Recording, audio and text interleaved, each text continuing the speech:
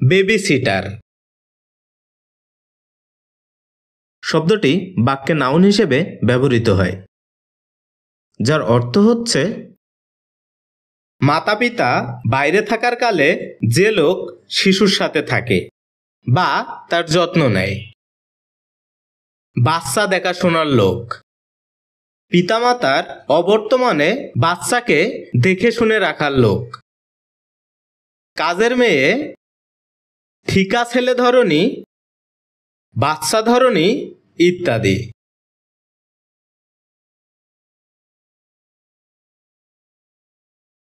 যার ইংরেজি প্রতিশব্দ হচ্ছে, a person engaged to care for children when the parents are not home.